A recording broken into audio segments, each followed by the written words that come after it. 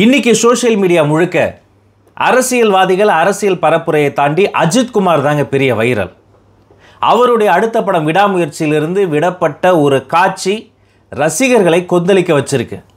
அந்த காட்சியினுடைய உண்மைத்தன்மை என்ன? படப்பிடிப்பு குழுவினர் சொல்வதென்ன இதை பார்த்த ரசிகர்களினுடைய பதிவென்ன என்ன? நடந்தது? உள்ளதுள்ளபடி தெள்ள தெளிவாக எல்லோருக்கும் புரியும்படி சுருக்கமாய் பார்த்துடலாம். வணக்கம் and welcome to Rajmohan report subscribe பண்ணாத நண்பர்கள் சப்ஸ்கிரைப் பண்ணிவிட்டு உங்களுடைய அன்பையும் ஆதரவையும் தாங்க.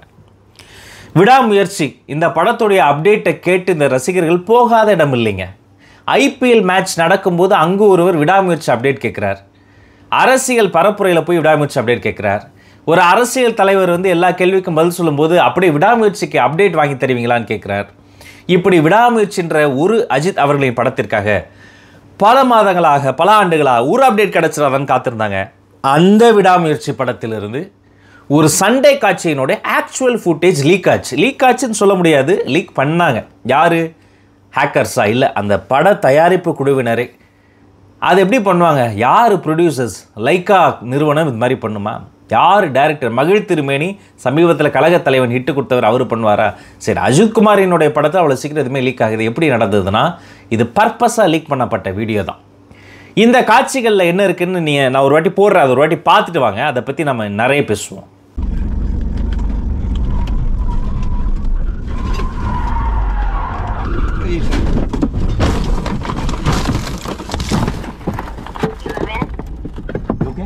You okay?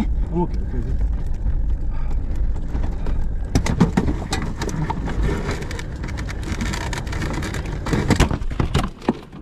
Okay.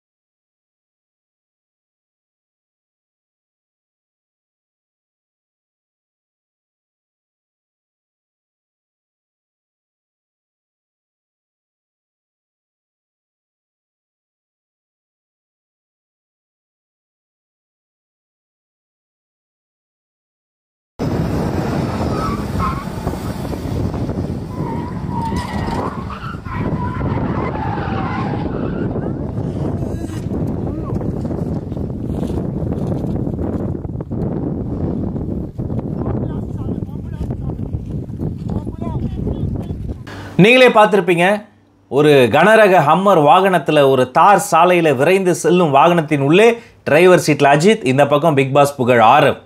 ஆரவை கடத்தி போகிறாரா மீட்டு போகிறாரான்னு தெரில பட் அவரை வந்து ஆல்மோஸ்ட்டு அந்த காரில் இந்த பக்கம் அந்த பக்கம்னு கடுமையான வேகத்தில் அஜித்குமார் அவர்களே ஓட்டி செல்கிறார் அது திடீர்னு வண்டி நிலை தடுமாறி தலை குப்புற விழுந்து ஆல்மோஸ்ட் அது வந்து டில்ட் ஆயிடுச்சு அது வந்து நம்ம ஊரில் நம்ம நெடுஞ்சாலையில் ஹைவேல ஸ்டேட் ஹைவேல நடந்திருந்தால் ஒரு பெரும் விபத்தாக நம்ம ஊரில் விடுற வாகனங்கள் நடந்திருந்தால் கோர விபத்தாக முடிஞ்சிருக்கும். அப்படிப்பட்ட ஒரு விபத்துங்க.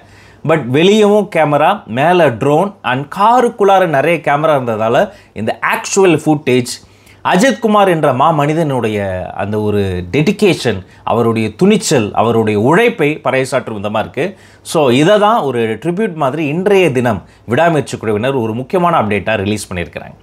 பட் இது சர்ஃபேஸ் ஆனதுலேருந்து சோஷியல் மீடியா முழுக்க பரபரப்புங்க. இவ்வளோ ரிஸ்க் எடுத்து ஒரு காய்ச்சல் நடிக்கணுமா? அவருடைய வயசு என்ன? அவரினுடைய உடல்நிலை என்ன? ஏற்கனவே பல முறை அடிபட்டிருக்கேன் ஏன் இவ்வளோ ஹை ரிஸ்க் காட்சியில் அஜித்குமார் மாதிரி ஒரு பெரிய ஸ்டார்டம் உள்ள ஒரு ஹீரோ ஒரு ஆக்டரை நடிக்க வச்சாங்க. அப்படின்னு கொந்தளிச்சிட்டாங்க அஜித்துடைய ஹார்ட் கோர் ஃபேன்ஸ் பட் பட தயாரிப்பு குழுவை சொல்லக்கூடிய செய்தி என்னென்னா இது ஒரு ஆக்சிடென்ட்டுங்க இது ஒரு விபத்து. திட்டமிட்டு வண்டி கவரணும் அது உள்ளார அஜித் இருக்கணும்னு யாருமே நினைக்க மாட்டாங்க. அந்த ஸ்டண்ட் டேரக்டர் நினைக்க மாட்டார் படத்தின் இயக்குனர் நினைக்க மாட்டார் ப்ரொடக்ஷனரும் நினைக்க வாய்ப்பே இல்லை. எவ்வளோ பெரிய ரிஸ்க் இது? ஒருவேளை ஒரு ஏதாவது ஒரு அடி இடிப்பட்டுச்சுன்னா எப்படி பதில் சொல்ல முடியும் மக்களுக்கு? கண்டிப்பாக இது வந்து ப்ரீ பிளான் பண்ணி எடுக்கப்பட்டதில்லை. அப்போ இது ஒரு விபத்து.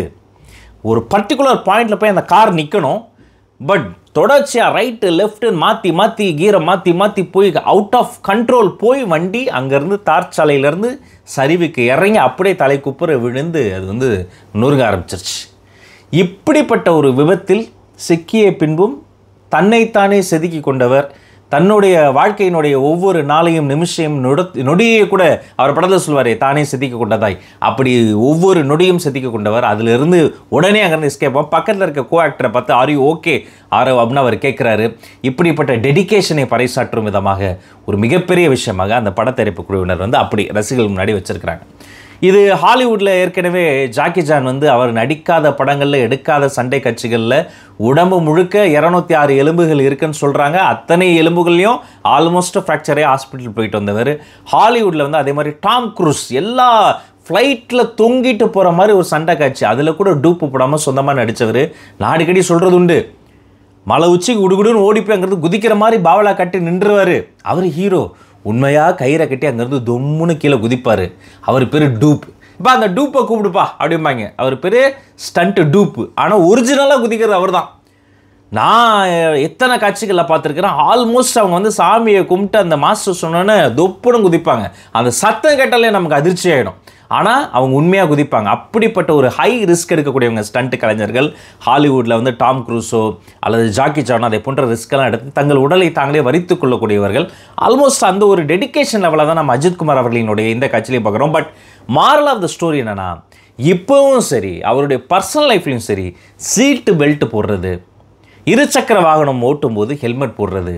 இதை மீண்டும் மீண்டும் வலியுறுத்துகிறார். அதையே அவர் கடைபிடிக்கிறார். இந்த காட்சியிலும் ஒருவேளை நான் வந்து சீட் பெல்ட் போட்டால் என்னுடைய முகம் நல்லா தெரியாது. அப்படி சீட் பெல்ட்லாம் போடாமல் அப்படி முடியலாம் இது பண்ணிட்டு போயிருந்தால் விபரீதமாயிருக்கும் விபத்துங்கிறத விட இது மிக கொடூரமான சம்பவம் மாதிரி இருக்கும். இந்த விபத்தில் இருந்து அந்த இரண்டு நடிகர்களும் தப்பித்தது காரணம் அவர்கள் சீட் பெல்ட் போட்டிருந்தது தான். அதை நம்ம மறந்துடவே கூடாது. லோக்கலில் தான் போகிறோம் பக்கத்தில் இருக்கிற ஃப்ரெண்டை பார்க்க போகிறோம் ஒரு அரை மணி நேரம் ஒரு மணி நேரம் தூரத்துக்கு போகிறோம் அந்த அரை மணி நேரம் ஒரு மணி நேரத்தில் தூரத்தில் நீங்கள் ஒழுங்காக போனாலும் எங்கேருந்தோ வரக்கூடிய ஒரு லாரி இன்னொருத்தவங்களோ வேகமாக எதிர்பாராமல் ஒரு பிளைண்ட் ஸ்பாட்டில் இடிச்சுட்டு உங்கள் வண்டிக்கு வந்து என்ன யோசிச்சு பாருங்கள் உங்களுடைய ஒரு முழு உடல் அந்த ஒரு சின்ன காருக்குள்ளார கிரைண்டரில் மாட்டின ஒரு வெங்காயம் மாதிரி போட்டு சுற்று சுத்தம் சுத்தினா நம்மளுடைய தலை முதல் பாதம் எவ்வளோ மல்டிபிள் ஃப்ராக்சர் ஆகும் யோசிச்சு பாருங்கள் இப்படி ஒரு கண்ட்ரோலை மீறிய ஒரு கார் நீங்கள் பைக்கில் போகும்போது உங்கள் மேலே இடிச்சிட்டா யோசிச்சு பாருங்கள் ஹெல்மெட் போட்டால் வேர்வை கொட்டும். ஹெல்மெட் போடலன்னா ஆக்சிடெண்ட்டில் ரத்தம் கொட்டுமே. பரவாயில்லையா? அப்போ மீண்டும் மீண்டும் இதை போன்ற காட்சிகள் வந்து இத்தனைக்கும் ஒரு அந்த ஆக்சிடென்ட் நடந்தோன்னா அங்கே ஒரு இருபத்தஞ்சு முப்பது பேர் ஓடுறாங்க. ட்ரெயின்டு ப்ரொஃபஷனல்ஸ் அத்தனை பேர் இருந்தோம். மிகப்பெரிய ஒரு ஒரு ஸ்டண்ட் கொரியோகிராஃபி பண்ணக்கூடிய கலைஞர்கள் இருந்தோம் மிக பிரம்மாண்டமான பட்ஜெட் இருந்தோம் சில சமயங்கள் அவுட் ஆஃப் கண்ட்ரோலாக அந்த ஒரு விபத்தை வந்து நிகழ்ந்துருது. அப்போ நம்மளை யோசிச்சு பாருங்கள் நம்ம யாருமே ட்ரெயின்டு ப்ரொஃபஷனல்ஸ் கிடையாது. நமக்கு ஒரு ட்ரீம் இருக்குது நமக்கு ஒரு குடும்பம் இருக்குது உங்களை நம்பி அந்த குடும்பத்தில் இருக்கக்கூடிய பல உயிர்கள் காத்திருக்கிறார்கள். ஸோ தயவு செய்து சீட் பெல்ட்டை போட்டு போங்க. சீட் பெல்ட் என்பது மிக சம் கார் கண்டுபிடிச்சி ரொம்ப நாள் கழிச்சு தான் சீட் பெல்ட்டை வந்து கண்டுபிடிச்சாங்க. ஆனால் மிக சமீபமாக சீட்டு பெல்ட் போடாத பல விபத்துகள் தொடர்ச்சியாக பார்த்துக்கிட்டே இருக்கும். அந்த சீட் பெல்ட்டுங்கிறது ஒன்றும் கிடையாது. வேகமாக உங்கள் ஒரு காரில் வந்து ஒரு இடத்துல இன்னொரு கார் அடிக்கும் போது அந்த ரியாக்ஷன் டைமில் என்ன ஆகிடும்? நீங்கள் வேகமாக எடுத்து பண்ணிங்கன்னா அப்படியே உங்கள் பாடி அப்படி தாங்கிடும். நீங்கள் முன்னாடி போய் டேஷ்போர்டில் இடிக்க வேண்டாம். தலைகீழாக சுத்த வேண்டிய நிர்பந்தம் வந்தால் சீட்டை விட்டு நீங்கள் பறக்க வேண்டாம். ஏர்பேக் அது திறப்பதை வந்து நீங்களே போய் அதை லாக் பண்ண வேண்டாம். எல்லாவங்களையும் அந்த டக்குன்னு அந்த பெல்ட் அப்படியே தடுத்துடும் இதே நீங்கள் ஸ்லோவாக நகர்ந்தீங்கன்னா சீட் பெல்ட் உங்களுக்கு வசதியாக விட்டு கொடுக்கும் ஆனால் வேகமாக நகரும் போது அப்படியே அதை வந்து கட் பண்ணி லாக் பண்ணிவிடும் ஒரு மிக சிறந்த ஒரு கண்டுபிடிப்பு உலகத்தில் வந்து சீட் பெல்ட் தான். அதை கண்டுபிடித்தவர் இன்னொன்று செஞ்சது என்ன தெரியுமா? காப்பிரைட்ஸை தானே வச்சுக்கல. அதை வச்சுருந்தா அவர் பில்கேட்ஸை விட பெரிய பணக்காரர். அதை வச்சுருந்தா எலான் மஸ்கை விட பெரும் பணக்காரர். அதை வச்சுருந்தா அதானி அம்பானியை விட அவர் பெரும் கோடீஸ்வரர். பட் அவர் என்ன நினச்சாரு?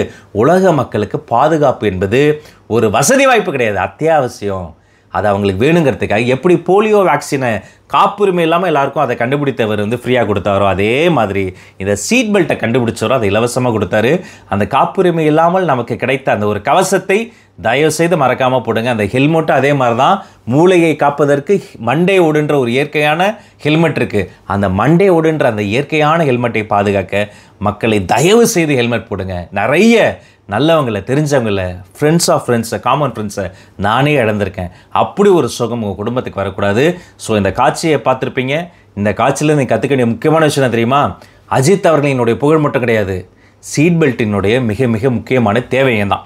இந்த செய்தியை நண்பர்கள் நலன் விரும்புகள் அனைவரோடும் பகிர்ந்து கொள்ளுங்க. உங்கள் அத்துணை பேருக்கும் நல்லதே நடக்கட்டும் நலமே சொல்லட்டும். விபத்துகள் இல்லாத ஒரு தமிழ்நாட்டை உருவாக்குவோம். நன்றி.